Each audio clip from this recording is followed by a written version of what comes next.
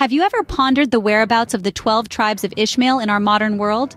This thought-provoking question has piqued the interest of scholars, historians, and enthusiasts alike for centuries. The tribes of Ishmael, often shrouded in mystery and intrigue, have left indelible imprints on the annals of human history. Their tale is a remarkable saga that intertwines faith, culture, and survival against all odds. Coming from a lineage as ancient as time itself, these 12 tribes provide an intriguing look into the complexities of human migration and societal evolution. As we delve into this captivating journey, we'll explore archaeological finds, scrutinize historical documents, and decode ancient narratives. The story of the 12 tribes is not merely a tale of geographical locations, it's a saga that resonates with human resilience, faith, and diversity. Through the lens of time, we'll witness the transformation of these tribes, their expansion across different continents, and their influence on shaping the world as we know it today. The amalgamation of their past and the present gives us a glimpse into an enthralling journey that continues to this day. Let us journey through history and geography to uncover the fascinating story of these ancient tribes and their present-day locations. Ishmael, the first son of Abraham, is a pivotal character within the broad spectrum of the Abrahamic religions. Born from Abraham's union with Hagar, his position is distinct and unique. As the offspring of Abraham, he was the progenitor to a prominent lineage. This lineage was made up of 12 sons who, as the book of Genesis narrates, went on to sire 12 distinct tribes. These tribes, each with their unique identities, spread across vast stretches of territories. Their influence seeped into the landscapes they inhabited, permeating every aspect of life. They played a pivotal part in the development of the region, shaping its history and altering its culture. From societal norms to religious practices, their impact was substantial and far-reaching. These tribes, spread across vast territories, played a crucial role in shaping the history and culture of the Middle East. The geographical distribution of the 12 tribes of Ishmael is not a straightforward topic. Indeed, it's a complex subject that requires a deep understanding of the ancient civilizations and the migrations that have shaped the Middle East over thousands of years. The tribes moved across vast territories, traversing arid deserts, fertile valleys, and rugged mountains, leaving behind rich and diverse cultural imprints. They intermingled with other communities, assimilated various cultural elements, and underwent significant transformations over the centuries. Their identities evolved, and their tribes splintered into numerous sub-tribes, each with its own unique cultural and historical identity. Yet despite these changes, the essence of their original tribal identities was preserved. By drawing on a wealth of historical records, archaeological findings, and cultural traces, we can sketch a rough map of their current territories. The tribe of Nebaioth, the eldest son of Ishmael, is believed to have settled in the northern Arabian Peninsula. This is a tale lost in the sands of time, a tale that echoes across centuries, bouncing off the undulating dunes of the desert. Long before the rise of modern civilization, when the world was still young and untamed, a tribe chose to call this inhospitable land their home. Nebaioth, a name that would later become synonymous with courage and resilience, was the firstborn son of Ishmael. He led his people through countless trials and tribulations, venturing into the unknown and braving harsh climatic conditions for the sake of survival and prosperity. Their journey was arduous, shaped by the spirit of endurance that would later define their descendants. Today, this region encompasses modern-day Jordan and parts of Saudi Arabia, still whispering tales of the tribe of Nebaioth to the wind.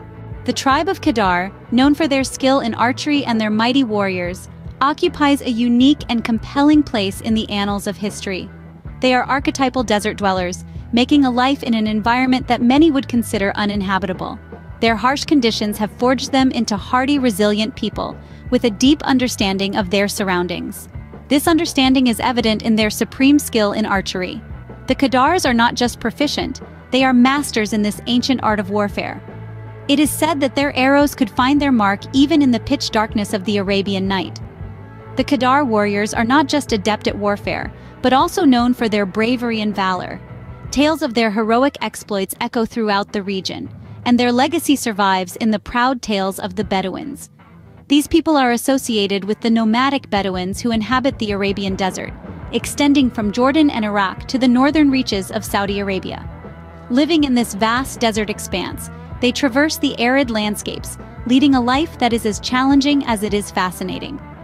Through it all, they have preserved their heritage, culture, and customs, passing them down from generation to generation. They truly are the beating heart of the Arabian desert. The tribe of Adbeel, a survivor of the forgotten times, is typically associated with the northern Arabian region, which is known for its vast sandy landscapes and barren wilderness. This primitive civilization has left its traces on the sands of time, with its exact footprints blurred by the passing of countless centuries. This region, renowned for its rich history, is positioned strategically, close to the Syrian border. Historically, it has been a melting pot of cultures, where myriad civilizations have risen, flourished, and ultimately withered away. Time has a way of erasing the past, yet the echoes of ancient tribes and their lively, vibrant culture still reverberate in the air, painting a vivid picture of a time that was.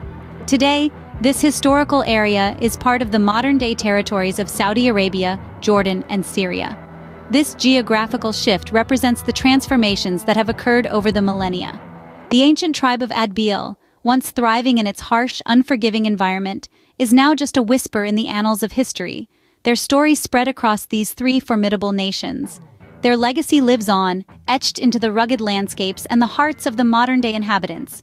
Through their tales, we find a thread that ties us to the past and offers us a glimpse into a world that we might never have known. This area today is part of modern-day Saudi Arabia, Jordan, and Syria. The tribe of Mibsam, a people steeped in mystery and lore, chose to settle in the southern parts of the Arabian Peninsula. This region, a vast expanse of desert and mountains, was home to an array of cultures and tribes, all of whom added their unique imprint to the tapestry of Arabian history. The tribe of Mibsam was not an exception. The Mibsam were known for their resilience and adaptability, thriving in an environment that others found forbidding and inhospitable. They traversed the endless sandy dunes and navigated the rugged mountainous terrain, carving out a living in this unforgiving landscape in a manner that was nothing short of remarkable. They were nomads, expert navigators of the desert, and their routine was dictated by the seasons and the life-giving rains. This was a tribe that was deeply in tune with the environment, understanding its rhythm, its whims, and its bounty. Their history and culture, like the desert sands, were shaped and shifted by the winds of time. They left their mark in the form of ancient rock art, pottery shards, and other cultural artifacts. Their stories, passed down through generations, echo through the ages, offering us a glimpse into their lives. This region that the Mibsam chose to call their home includes present-day territories that are now recognized as Yemen and Oman. These countries, just like the tribe of Mibsam, carry within them the echoes of a rich and fascinating past. The tribe of Mibsam settled in the southern parts of the Arabian Peninsula, which include present-day Yemen and Oman.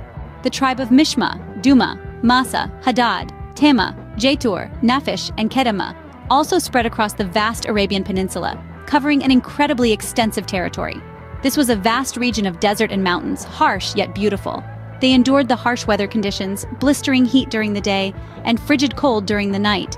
Despite these challenging circumstances, they thrived, multiplying and spreading their unique culture throughout these arid lands.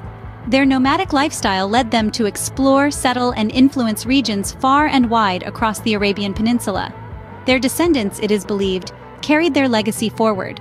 They are thought to have dispersed and diversified over the centuries, reaching into many corners of the Middle East.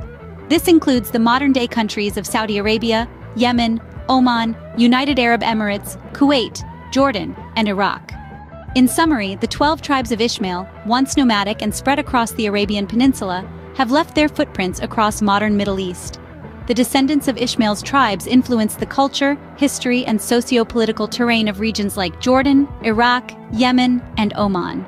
Tracing their exact geographical spread is hard, but their legacy thrives in the Middle East's diverse cultures and rich histories. Their story is a living testament to the enduring influence of ancient civilizations. So, the next time you gaze upon a map of the Middle East, remember the story of Ishmael and his 12 sons, their tribes, and the indelible marks they left on the sands of time and the vast expanse of the Arabian Peninsula. This historical narrative not only enriches our understanding of the past, but also provides a unique lens through which we can view and appreciate the modern Middle East.